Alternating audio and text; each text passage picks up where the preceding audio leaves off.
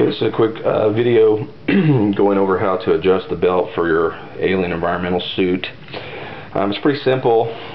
The buckle obviously is snapped around like this. From everything we've seen in photos, the buckle actually buckles around on the back side of the uh, costume. On your holster you'll have a slide. What you want to do is push this through, and it's pretty tight.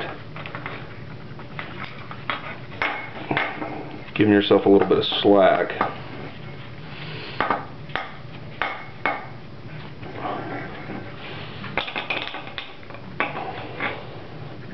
Since I custom machine these buckles, they're a little bit tight. You could file them out a little bit. Okay, we're going to extend it out.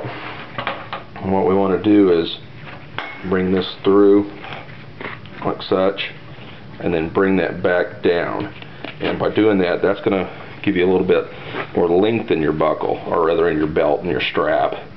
To go the other way to shorten it move this back through such and then pull it back this way. Okay and you can just got to kind of play with this to get it to fit your costume or your waist or your uh, mannequin however you're going to display it.